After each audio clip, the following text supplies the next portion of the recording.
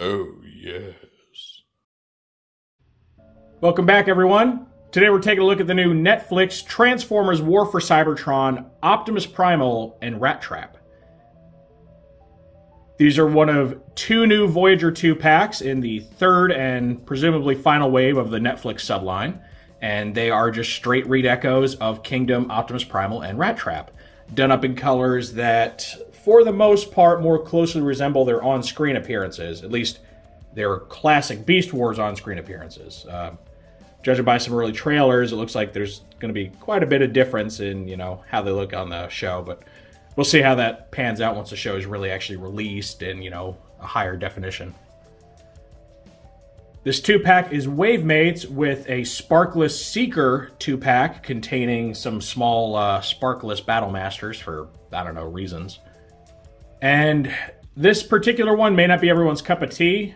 Uh, I think it's mainly aimed at people that didn't pick up the Kingdom versions of Optimus and Rattrap, though they were pretty readily available. So I don't know. This might be more of a niche thing for people that just are more completionist or want more screen accurate versions of the toys. So if you've seen my reviews before, you know how this goes. We're going to take a look at the toy's packaging, then we're going to open it up. We'll see the figures themselves in both their beast and robot modes.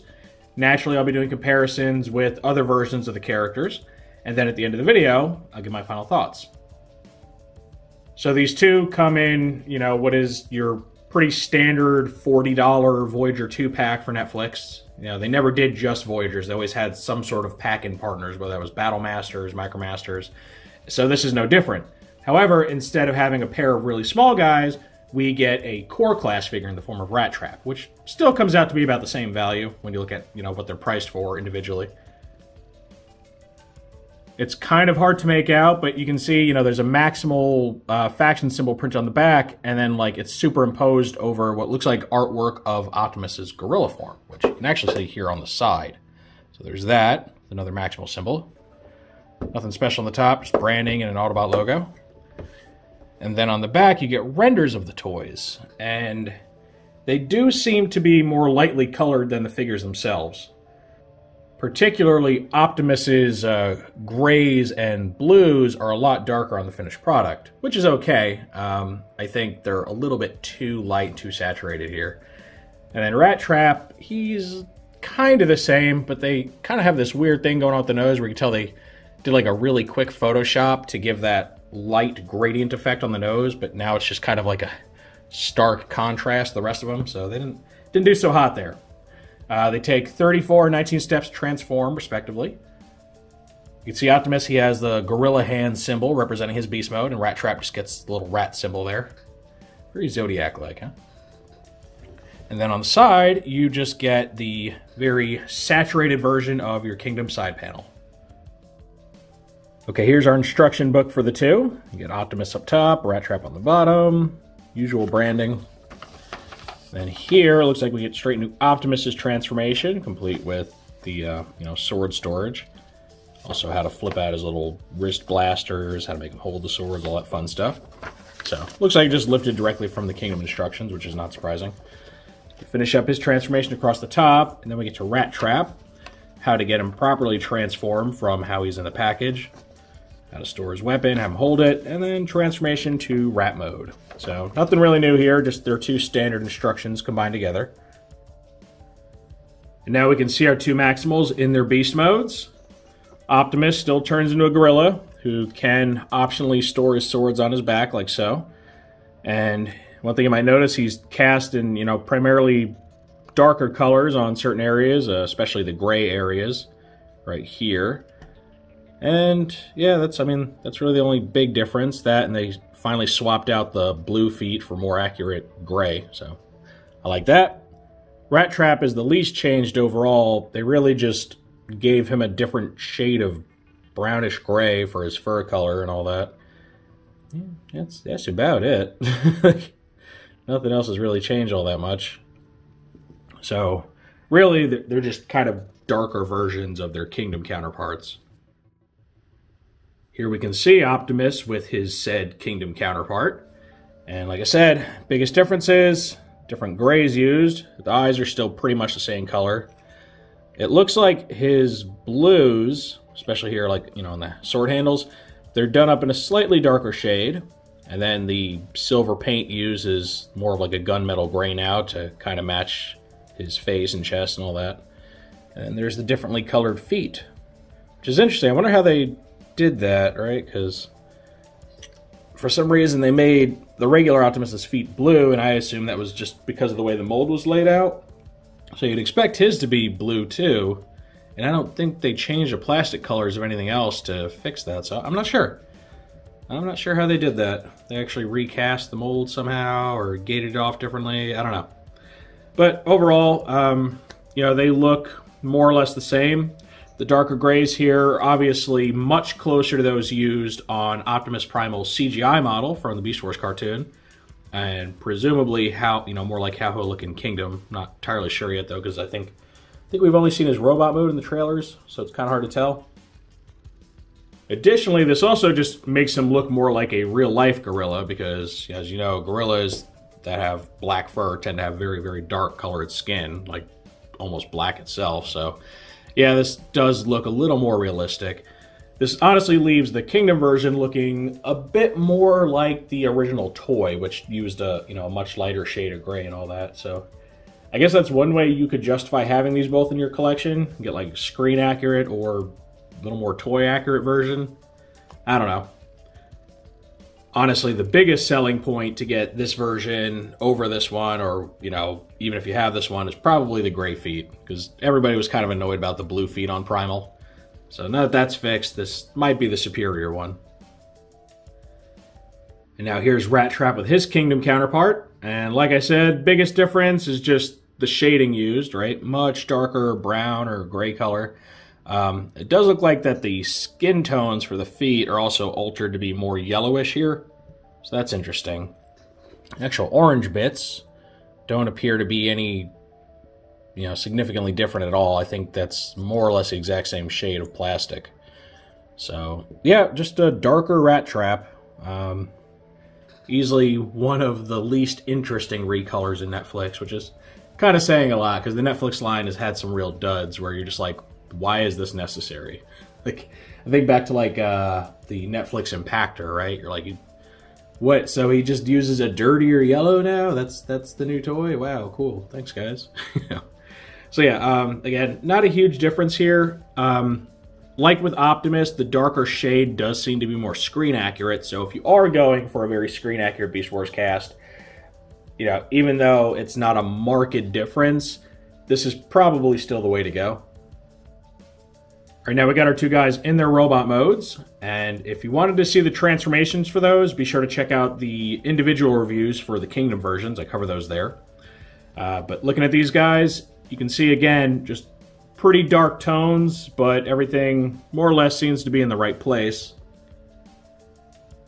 One thing I noticed is that Primal does lose a little bit of paint in this release. These little lines right here, these outer lines, were painted like a gray or silver color on the Kingdom one. I'll show you that in a moment. And they left them unpainted here, so that's unfortunate. Uh, everything else seems to be the same, so it's pretty minor detail. I barely noticed it. Um, and then you just see some slight color, you know, changes that they made. Uh, Rattrap, he's, as far as I can tell, just a one-for-one -one recolor, like nothing added or subtracted, just darker tones for the most part. As far as their tolerances, everything still appears to be the same. Like, everything's nice and tight, nothing too wobbly. Rattrap's knees are a little, little on the loose side, but they already were, so, know, didn't really get worse, just same old problems. Uh, Primal's the same way, though, in fact, one thing I did notice is that one particular thing got a bit looser, and not in a bad way. His wrist-mounted guns here on the Kingdom version, I have to use an object. Usually I end up using the um, little handle for his swords to like really push the thing through and force it through. It doesn't really want to go with just finger pressure alone. Uh, this guy doesn't have that issue. His guns pop out a little more smoothly. So I don't know if that's just an individual QC thing or maybe a slight improvement they made, but I do have an easier time with the guns for this version. Um, so yeah, I mean, same toys more or less, just darker hues all around much more Netflixy. Because their subline does tend to be a little more grim dark version of the standard War for Cybertron toys. You know, they tend to err toward darker colors and more dirtying effects, and the trend continues here. Here we get our comparison shot with the Kingdom Optimus Primal in robot mode. And these are the lines I was mentioning, right? Can you see those right there and there? They seem to have been painted, and it's almost barely noticeable because it's like silver on gray. But it is there. Oh, I guess, you know what? This little band across the top lost some paint too. And maybe they just left those out because they realized that the difference is pretty negligible. You'll also notice that these little silver details here, right there in the corners, have just been painted blue this time. Again, pretty small difference. Um, they also swapped out using a light blue shade for a gray or silver shade here. So yeah, they definitely made some slight modifications. Uh, I won't lie, I do prefer the chest coloration on the Kingdom version, just a little more vibrant. I like that like light metallic blue against a darker blue, but pretty, pretty small difference. Again, you get the infamous feet. They are the proper color this time, so that's very cool. And overall, it's you know same thing with the beast modes. I just get more of a uh, you know 90s toy vibe from this guy and more of a CGI model vibe from this one. So you know, I guess it's up to personal taste there which one you think is better. Though I think most people can agree that gray feet is an improvement. That was like the big miss to a lot of people with the Kingdom Primals. Just like why are his feet blue? And now we can see that they don't necessarily have to be because they managed to uh, cast them in gray here without changing the plastic colors on anything else, at least as far as I can tell. I mean, can you guys see any, any changes in plastic colors? Like, everything looks the same to me. Everything that was blue on this guy is blue on this one besides the feet, so... I don't know. I am glad they made the uh, the change, though, because I just I think it looks a lot better. Really brings him closer to how he should look. And then here we get our Rattrap comparison. Again, mainly just darker colors. Now you can see all of the silver on the toys, and you'll notice that they went with a much, much darker silver for the Netflix release. Pretty much the same gunmetal color as uh, Primal Swords there. And that's a pretty, pretty stark contrast to the uh, Kingdom version, which uses a much lighter, more polished looking silver. Again, you'll notice the different browns used, the different skin tones. I will say, I, I think I prefer the skin tone of the Kingdom Rattrap. This one right here the yellowing effect almost, I don't know, it almost makes Rattrap look sickly. Kind of like his liver's failing him or something. I don't know. Um, yeah, I, I kind of wish they had kept the feet the same color because I, I, don't really like the new coloration. It looks off to me. Looks like Rattrap isn't feeling so hot these days. That's just me. Maybe that's just the way I perceive the color. Just it looks, I don't know. It, it looks like someone who's in the hospital. Uh, so let's see. Um, and again, I do really prefer the light silvers on this one. So the the Rattraps are a little more give and take for me than the primals. I'd say about half the coloration is better and then half of it's worse. So it's not really a win-win. Uh, it's it's kind of like Cheetor where, you know, you made some gains with the Netflix version and then also took some losses in the form of lost paint and stuff. So this one's not as cut and dry. I think honestly, I'm feeling the Kingdom one just a little bit more, even if his fur color might be a, a tad too light to mimic, you know, how he looked in the show. The Netflix Rattrap, it, it's it looks like you're watching him through a TV screen and somebody turned the brightness way down, you know, like he's just, he's a little too dark. And since I keep mentioning him, let's bring out our Netflix Cheetor, just so we can get a group shot of all three of the Netflix Beastie Boys here. They're more show-accurate colors. And I gotta say, they do look nice together. Um, they really kind of carry that same general aesthetic of kind of like a dark metallic finish all around. Almost on the level of being like premium looking. Now as a quick aside, for anyone that doesn't know, these two we just found out are getting some very interesting retools slash recolors here. So if you haven't seen it already, this Cheetor is going to be heavily retooled into Beast Wars Ravage. So that's awesome, and it looks phenomenal. Uh, if you haven't seen it, go check it out. And then Optimus here is getting recolored as a Nemesis Primal as part of the Worlds Collide multi-pack, which is odd, but also interesting because surprisingly that's never been done before. You'd think they would have done that at some point, right? With all the Nemesis Primes out there. We had the Galva, uh, was it Galva Convoy, which is like the evil Lio Convoy.